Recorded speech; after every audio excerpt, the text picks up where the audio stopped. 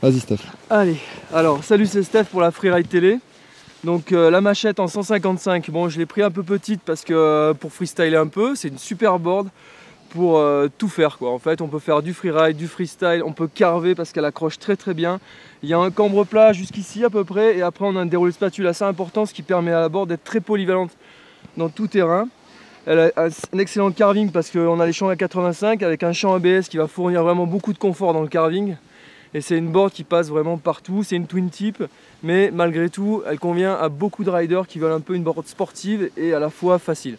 C'est vrai qu'avec les conditions de poudre qu'on a, euh, il aurait fallu que tu apprennes peut-être un poil plus long. Après, pour un rider qui veut plus de polyvalence, il faut monter dans la taille. On est vraiment sur une board qui passe partout, qui est facile, mais qui reste très performante. C'est-à-dire, euh, ça dépend vraiment du rider. C'est à la demande, si le mec il est en forme, il peut rider avec, il peut, il peut vraiment s'éclater. Et si le mec il est pas trop sûr et qu'il veut une board pour faire passer les paliers pour évoluer facilement avec quand même de la performance, c'est super. Merci Steph.